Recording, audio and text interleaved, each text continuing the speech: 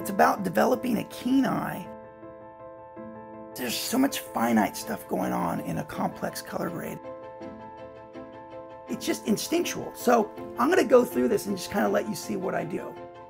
What is he doing with his black levels? What's happening in the mid-range? How is he getting the highlight to roll off so softly and beautifully? Right now it's looking so sharp to me. Little nuances that really differentiate an amateur from a professional.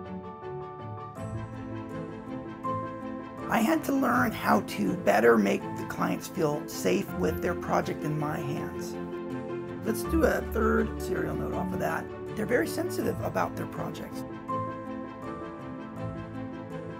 This node here is reserved for my LUT, for my CST. I've recently added high green key, high blue key, and high red. I just know eventually they're gonna wanna do another little trim pass, so I have a little shot trim node here. Technology and artistry go hand in hand. Do not stay stagnant. I'm always constantly learning and staying open to new ideas and technology.